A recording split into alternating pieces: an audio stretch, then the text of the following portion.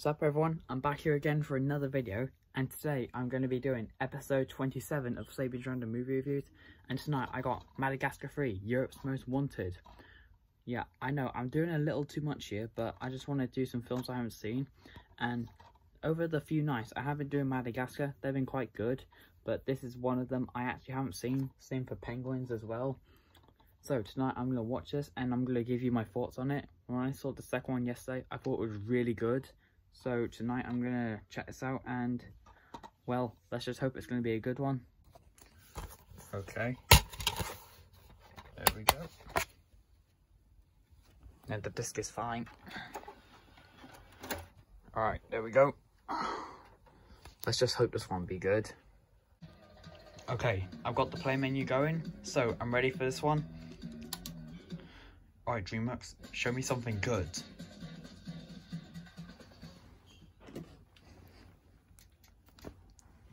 I've even uh, got a chocolate biscuit here, and I'm ready to eat something.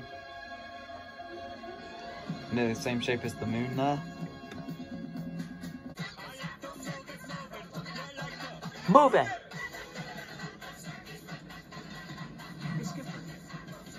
Doing with the crazy lady anyway?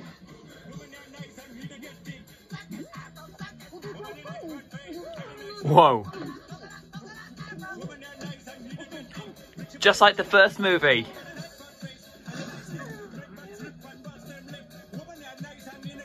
oh.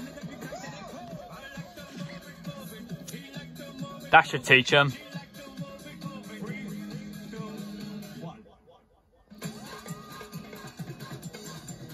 Well, that should teach him.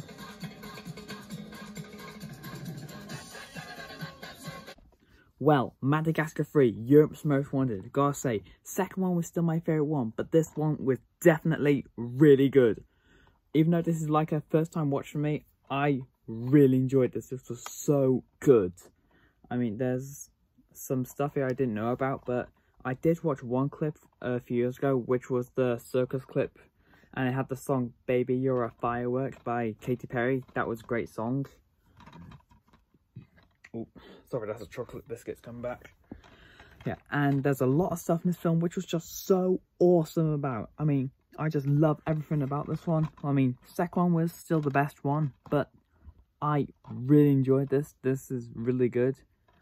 And I think the way I'd rate the Madagascar films will be two's the favourite, then this one, then the first one. Some of you might be like, wait, what? Why? Well, I understand that because, well, that's just what I think about them. I did love watching them growing up, but that's just the way I think about it. And everything about the film was just so cool. I mean, there's some stuff I can say that are good, and maybe one or two that I can say are bad. I don't know. I mean, I've done. I'm done now with the Madagascar films. I have one more to go. Penguins in Madagascar. I mean, I'm not sure because at some points I found the penguins to be quite annoying. So I guess I'll just have to go ahead and watch it and I'll just see what that gives me. So, I guess that's episode 26 of Random Movie Reviews done, and I'll see you guys again soon. Bye.